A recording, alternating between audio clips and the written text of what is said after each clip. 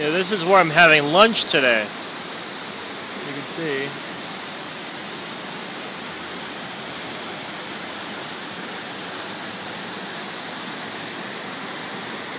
So there's my lunch. Slice of pizza. And here